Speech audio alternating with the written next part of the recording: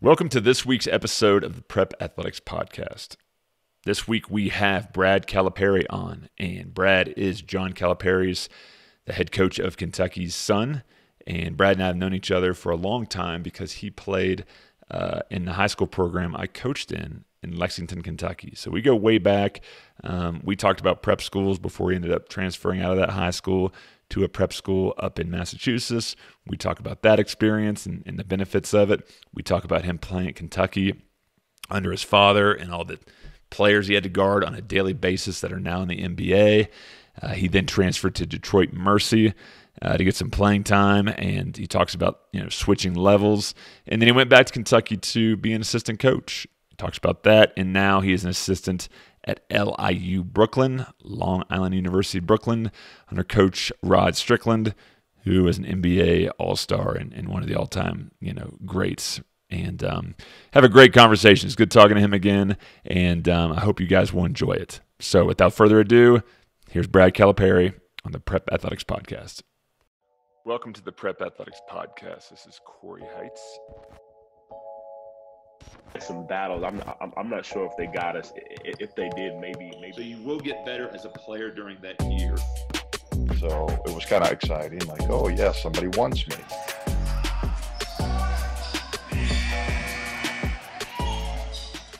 Brad, welcome to the podcast. What's happening? How you doing? I'm doing good. It's good to see you again. And we go back to our days together at Lexington Christian Academy in yes, Lexington, sir. Kentucky, and uh, we had a little relationship there. And then at some point, um, you kind of came to me and said you wanted to look at prep school options. What made you think uh, that prep school was a good idea? Um, well, for me, it was nice to kind of step away from the spotlight at Kentucky. Um, aside from that, at the time, I tore my ACL, so I was out for the whole season there. Um, I wanted to play another season, and obviously reclassifying back would have helped and i think that was one of the main reasons with all that being said and then on top of that you have much better competition in the prep school leagues especially in the, uh, in the NEPSAC conference and that was something that was going to prepare me for college at a, at a better level than almost any other high school could Gotcha. And you ended up choosing MacDuffie, but I know you listed or visited a lot of schools before you made that yeah. decision ultimately, why did you choose MacDuffie? I just I love the staff and I love the guys they were bringing in. Um, it didn't really matter about the situation, like the living situation, anything like that. It was more about are these guys good people? Do they know what they're doing? Are they gonna get the best out of me? Are they gonna bring good people in around? And they did every part of that. And you know, I still talk to each of those guys probably every month or so uh, we stay in contact and you know those guys are like family to me now and i wouldn't want to change it if i had a chance to do it over so i'm glad with the with the decision i made. And that's so important you say that and i say it to kids all the time brad to where if money is even across the board so it's not like a $20000 difference between schools the main thing to pick a prep school for is the coach which you just mentioned there and that's because they're going to be the guys yelling at you you know you want that guy yelling at you they're going to be doing skill development. They're determining your playing time, and ultimately, yep.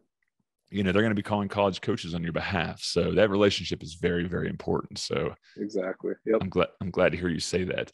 How did MacDuffie specifically prepare you for playing at the D1 level? Um, with a lot of that, so like NEPSAC has rules that are closer to college than most high schools. You know, you played, I think it was 18 or 20 minute halves, and then you had 30 second shot clock at the time um, in Lexington or in Kentucky, period, you don't have shot clocks. Um, so that's something that kind of forces you to play with a little higher pace. Um, you're also playing against other kids in prep schools, and you know we played against kids that are now in the NBA. There are a couple on my team that were in the NBA and the G League now. So you also have the competition, the size, the skill, the pace of game um, that is all way different than normal high school levels. Yeah, and the big thing about Kentucky high school players is they got a high basketball IQ, right? And we've seen right. that throughout the years of the Kentucky players that we've placed in prep school that have done great things there. How do you compare the NEPSAC IQ to maybe Kentucky high school basketball IQ? Uh, well, you got to think most of those kids, they're very skilled. You have more that have a high IQ, and then you have others that are very talented, very skilled, that you know, freak athletes, good size, that have to learn the game. So you have a little bit of both. You have your guys that are more skilled, that know the game, that maybe aren't as athletic. You have your elite of the few that high IQ, high motor, high great athlete, you know. And then you have others that are, you know, raw talent that are still learning the game. And, you know, like back to you said, it's about the coach and the environment that you're in. They're gonna teach you and basically mold you and get you ready for the next level. Yeah, absolutely. Now you went from MacDuffie to Kentucky, and obviously your dad coaches there at the time. You grew up there. Um, since he's been a coach, what was the best part about playing at UK? The best part for me was probably being able to go against top 10 lottery picks every day in practice. You know, that helped me really prepare for going to Detroit after because I worked harder than, you know, damn near everybody, but at the same time, I had to work harder than everybody just to be able to maintain with those guys, not even, you know, surpass them because I'm not the, the athlete. I don't have the size that these guys have. And, you know, that's something that at that level, you know, guys are great athletes, great size, and they have high skill. And, you know, I just had to be able to go with those guys. And that really helped me get better overall. And then stepping down a level, that helped me be able to produce at that level. And what do you think, since you're around all these lottery picks on a daily basis, is a lot of it God given talent or is it God given talent? I'm sorry, God given like um, athletic prowess? Like, are you just born with speed like De'Aaron Fox? Or is that something you can nurture or do you have to train on top of that? Because the reason I'm asking this, everyone wants to play in the NBA, right? So right. I'm always trying to find like what a kid can do or just some prescription, which doesn't exist but I'm right. just trying to hack it a little bit. So, what did you see from your vantage point that either they had naturally or they did on their own that got them to that NBA level? So, a lot of those guys, like some of the athleticism, you can't really teach. There are some things that you can, you know, you may be able to get a little more, a little more quickness with terms of footwork and technique on certain things. Um, size, I mean, you can't teach size and length. Like that's something that's different. But the thing that separates those guys that have the size, the length, the athleticism, they all work very hard. And that's the thing. They're talented, they're very talented coming in, but on top of that, they know they have this desperation that I have to make it. And that drives them and they work very, very hard to add to the height, the skill, the you know, whatever they have, the athleticism. And that's why guys that come through UK, they really separate themselves and you have lottery picks, number one picks, first round, whatever it is. And, you know, most most of the guys they stick in the league and they make a difference, you know. Yeah, your dad having that experience coaching in the NBA, like what's one tidbit that you can share with us that he would tell them that only his experience in the NBA could provide them? Like, did he have a certain mindset or he coach a certain way? Like, hey, you're going to have to do this if you want to play at the next level. What was there anything um, specific? Sorry my dogs are trying to jump up here. Um, no not not too much. It's more so of how you carry yourself and your preparation. Um, professional athletes obviously they prepare way different than a normal college athlete would because this is their life. Um, at uk you really teach guys how to prepare the right way and really take care of their bodies. Um, watch film what you look for how you prepare for the games and practice, how do practices look days before games or two days before games or on game day, um, and really getting them into routine on, you know, we're going to carry ourselves like professional athletes. And you basically, you learn the lifestyle. A lot of the guys, they, they know to work hard.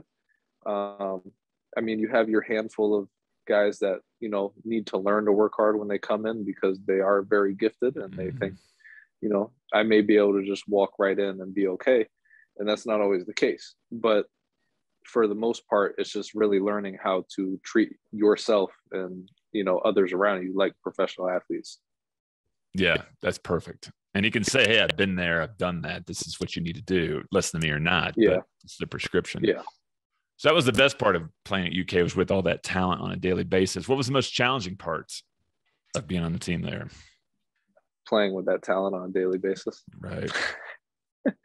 um, you know, like I every day it was, you know, against Hami Diallo, Tyler Herro, you know, Keldon Johnson, Quade Green. Like those were guys that I had to go against every day. And, you know, that was difficult. But at the end of the day, like it got me better. Um, you know, it's it's a good and a bad thing, but those like they're talented. They're crazy talented. So some days it was hard and others, like, you know, and that that is what it is. But aside from, you know, at the end of like those guys are good dudes, but like we'll be in practice and going at each other, and that is what it is. But then I have my dad on my back as well, which is like sometimes that's a pain, but you know, I I was I was fine with that. You know, we would butt heads every once in a while, but most of the time we were we were good. We we kept everything kept everything solid. Yes, that's my next question. What was the best part about playing for your dad? Um, you know, just being able to spend time with him and learn from him. You know, he very knowledgeable, and you know he was harder on me than a lot of the other guys, and I, you know, I'm glad he was like that because if he wasn't like that, you know, I probably wouldn't have gotten the development I got. Um, and being able to learn the game at that pace and that high of a level, you know, that's something that really benefits you, especially now that I'm in coaching. I've seen it from several different ways. And you see it at the highest level, you see it mid major, you see it at lower level, and everything is different. And now being able to adapt to where I am and play styles and, you know, level of talent at select levels, you know, now you're able to maneuver much more clean and smooth. Yeah, absolutely. And the I guess the biggest challenging part of playing for your dad was playing for my dad. Playing for your dad, yeah. Because because there would be times where you know, a lot of head coaches and and they know there's so much going on in their head, they'll say things, or they won't, and they think they said it. so there was one time he told me to do something, and I did it, and we were uh, running a player or something, and he stopped. And he blew the whistle, started yelling at me. I'm like, you told me to do this. And he said, shut the F up or get the F out of the gym. And I was just like, yeah, yeah. can't really, yeah, yeah. Okay. just had to take that one on the chin. Yeah. I know that feeling. but, but no, I mean, for the most part, it was good, you know, love them. That was a great experience overall. So yeah, no, you get all that one-on-one time and just to be around them. That's just, that's got to be great. That's yeah, because he, he he never really coached me or anything in high school or middle school. Like never really worked me out. I always worked out with with other guys, with Coach Payne, with Coach Strickland when he was there. You know those guys.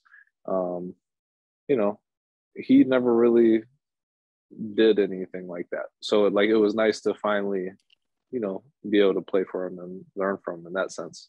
Mm-hmm and just so you know, I work with my father full time in a real estate development business. So we same thing. We didn't get that in college, high school when I was in the military, right. but now we talk on a daily basis.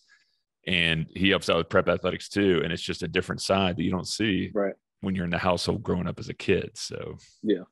Yeah, I see exactly. the advantages. So you decided to transfer out of Kentucky, the most storied program right. in in the in the country, to Detroit Mercy. And when you did that, um, was that main reason for playing time and a chance to actually shine on the court more? Yep. Yep. Exactly okay. that. So, what was the biggest difference that you saw? Um, the skill level isn't crazy different. You have a lot of guards that are very skilled, wings that are very skilled. A lot of it is the size and athleticism mm-hmm. along with the skill. You know, that's what really separates guys. You have guards that may be five nine, five ten, six feet, that are doing a lot, you know, get shots off, make shots, score whatever they want. And then you go up to SEC, you have guards that are six three, six four that do the same thing. Right. And maybe be a little more athletic. And that's just, you know, a lot of that is just you're gifted with it, like you're blessed with it. You, it's how you were how you were born. You can't really ask for much else. But you know, a lot of the talent level is still, you know, high level talent with those with a lot of those guys. Yeah, but did you? So your your time though against those guys at Kentucky that probably helped you. It probably made everything relative. Then when you went down to Detroit yeah, no, Mercy. so it it did make a lot of things easier. Um, like for me, I was, I was a shooter. I make shots. That's what mm-hmm. I have to mm-hmm. do. I had to get used to it. Kentucky going against guys that are six five, six six, seven feet, closing out on me. So it made me have to develop a quicker jumper, be more efficient.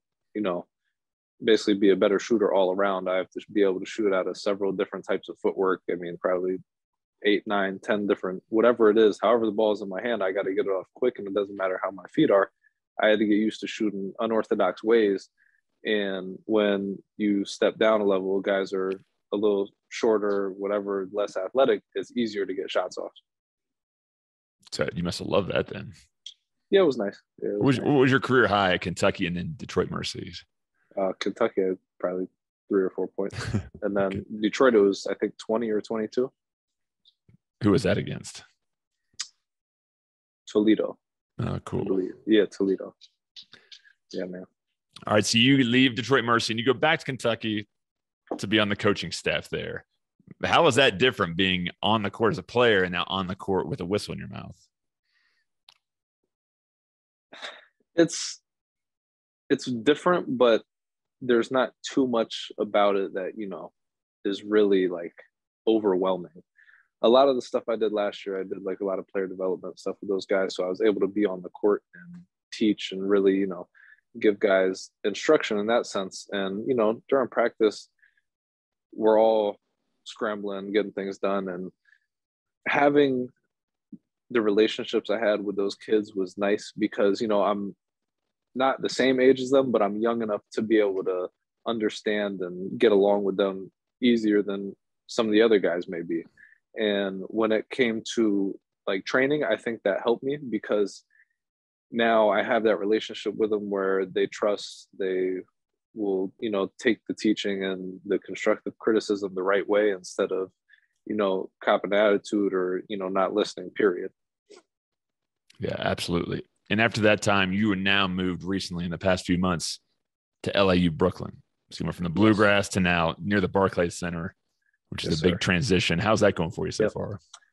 Um, I love it. Brooklyn's been great. Um, staff has been great. We just finished putting together our staff up here. All the guys are in. Um, I think we got our four hours a week on the court, four in the weight room right now. So we've been going 45 minutes to an hour, four, four or five days a week, whatever we have.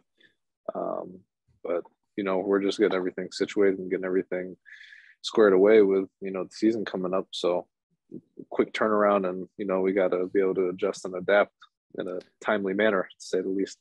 Yeah. Now, whenever I talk to a coach, uh, head coach, assistant at any level, I always ask, "What's your pitch? You know, why should I come to your school and play if you guys offer me?" So, what's the LIU Brooklyn pitch, Brad?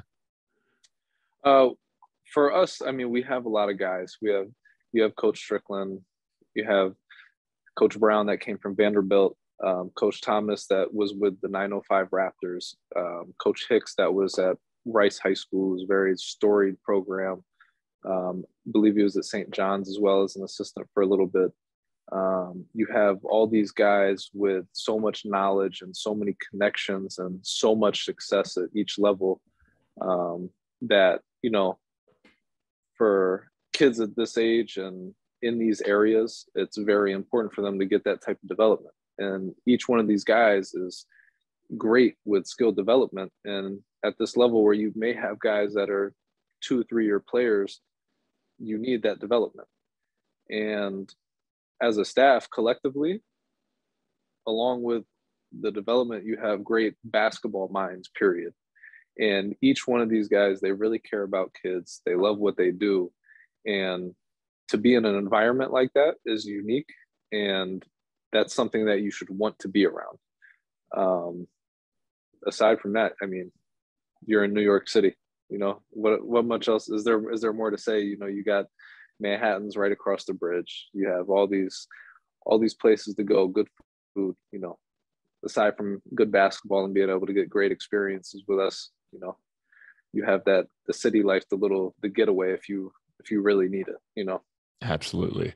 And you and I talked a few weeks ago about NIL deals, and Kentucky, obviously, uh, a player can go there and get some monster NIL deals, which we've seen from the uh, you know reigning player of the year Oscar Tshiebwe, and but it, it hits every level, right? So, do you guys at LIU Brooklyn? What how do, how are you guys approaching NIL deals for your players? um, we don't want it to be the sole reason players come here obviously it's going to play a part in getting certain players if need be um, you want guys to come here because they want to get better at basketball and they want to play for Coach Strickland and be a part of a culture that we're going to build. Um, obviously, like guys have enough connections to where we may be able to pull in some money. And, you know, if we are great, and if we're not, you still have guys that want to be here. You don't want to bring guys in, they're only here for the money, and then something happens and they leave out on you.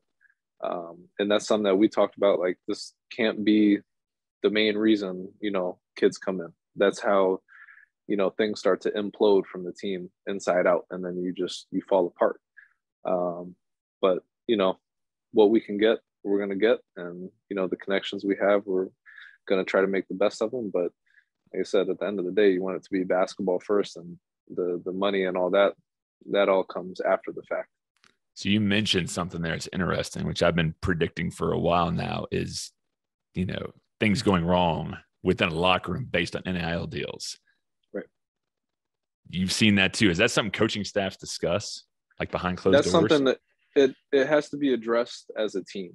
Mm-hmm. Um, you know, you're at this point, every if guys are getting paid, like you need to be grown about it. You don't speak about how much you make, and at the end of the day, guys are probably going to say, "Oh, I made this much money," but they have to be understanding, like, "Oh, if this guy's better than me, he's making more money." That's what it's the name of the game. You know, better players make more money and you have to be an adult about that and really be mature and you know if you're not making as much money work harder play better see if guys reach out to you see if more money comes in but if you're not putting the work in and you're looking in the mirror and you know eh, like i'm not really doing what i can you have to be mature about it and understand you know this isn't what it is so I think that's some it does need to be addressed that, you know, don't talk about what you make, how much you make, what deals you're getting, keep all that stuff. That's all personal.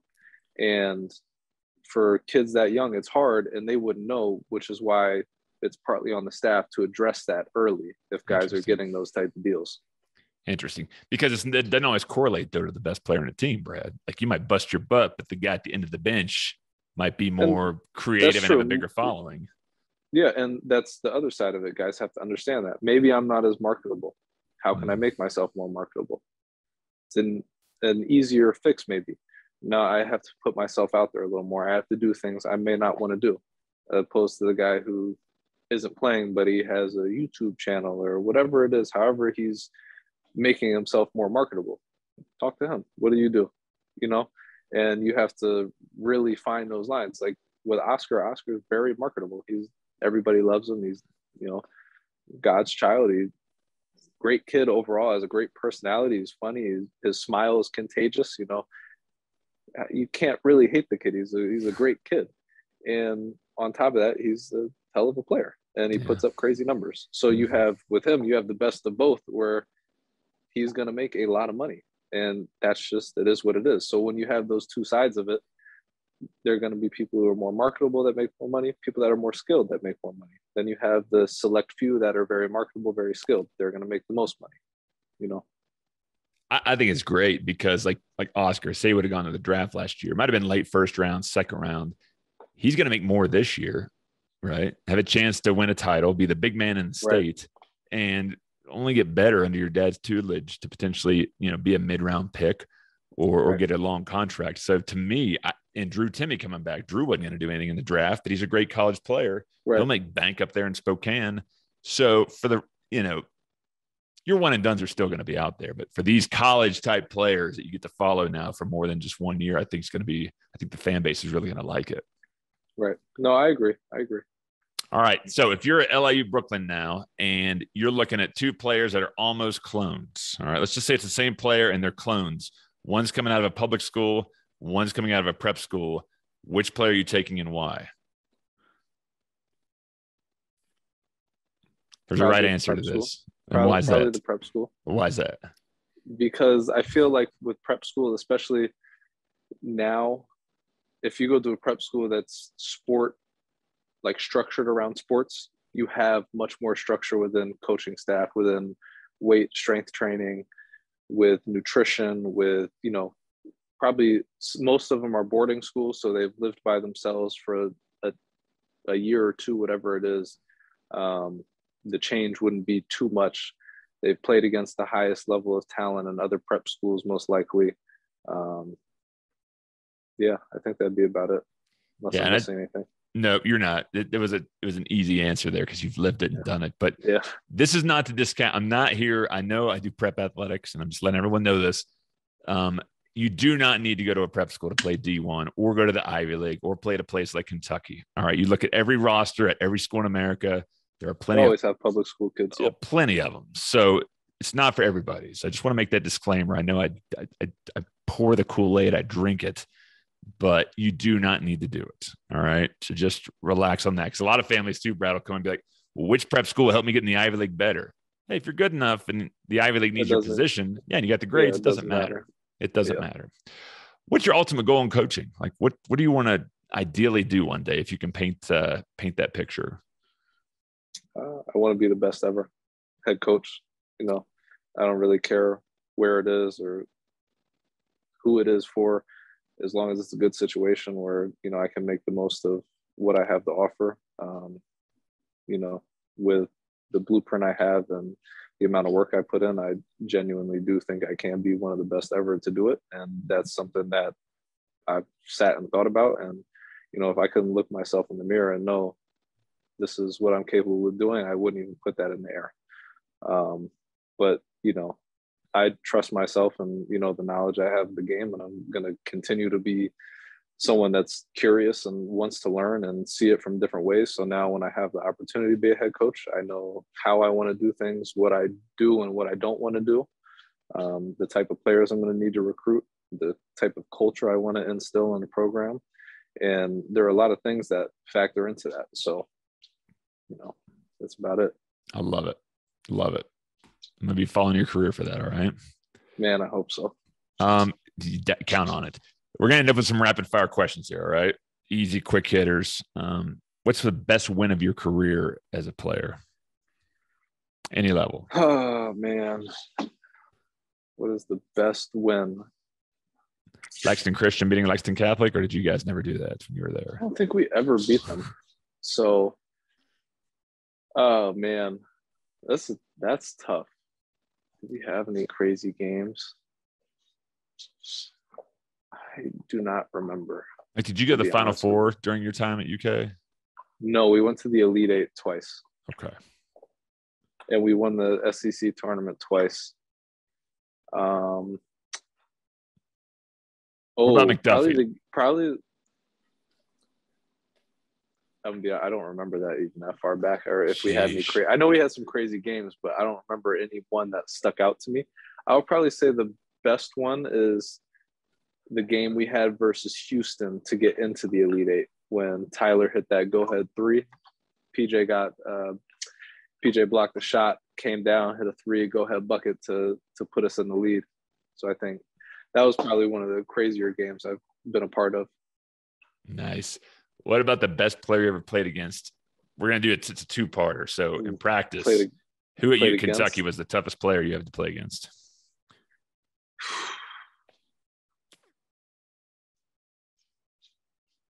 probably Malik Monk. Okay. And then how about non-Kentucky player, like either at MacDuffie or against at UK or against at Detroit Mercy? Played against Bruce Brown, who was I think he's with the Nets right now. I believe he was in Detroit when I was up there.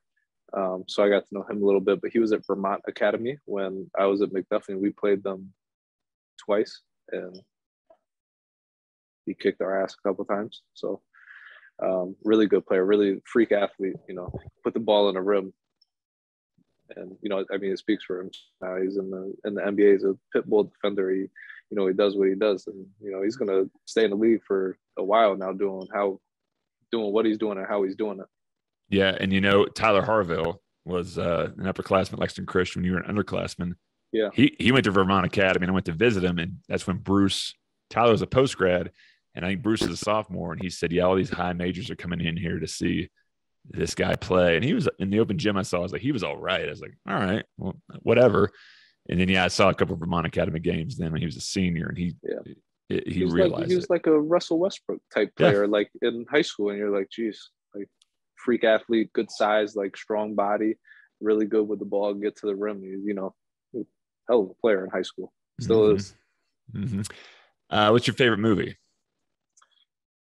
Uh, I, I mean, what genre are we talking? Because if we're talking comedy, I would probably say Step Brothers. Okay. But you can't go wrong with like Love and Basketball. That's a great movie, but just two different sides of the spectrum. hmm Okay. And last thing, what's your hobbies when you're not doing anything basketball wise? It's really funny. I was just talking with somebody about this the other day. I don't really have any hobbies. It's not good. I know. It's, it's not good for my uh, for my mental. I play like- chess every once in a while, but Oh, You know. okay. I don't really I don't really do too much. I have my dogs that I have to take care of and walk them. You know, make sure they're fed and make sure they're good. It's like having kids almost. So Yeah, I know. My dog just came up here, was licking me with, uh, earlier during this podcast. So I'm sure yours are right outside of camera view as well. no, they're sitting right here. My one tried to jump up on me in the middle of the time. Like, come on, relax. Hey, this isn't 60 you in a minutes minute. here. This No, isn't 60 minutes, so we'll be we'll be all right. Brad, anything we did not talk about today that you wanna you wanna mention? No, I think we're good. I think we covered all the bases. So Well, perfect. we are all good. We are all Well, good. Well, Brad, thanks for coming on the podcast. Um, if you guys enjoyed this, feel free to subscribe to the YouTube channel and you can subscribe to the podcast on all major podcasting platforms. Uh, if you want to reach out to me with any questions, I'm at prepathletics.com. You can find me there. And if you guys want to follow Brad's progress, we'll put his contact info and socials in the uh, show notes. But uh, Brad, it's good to see you again, my man. It's been a while. I appreciate you. Yeah, Uh, no, thank you. I appreciate it. Yeah, good luck this year, LIU Brooklyn. And uh, thanks for joining. We'll see you next time. Thanks. Appreciate you.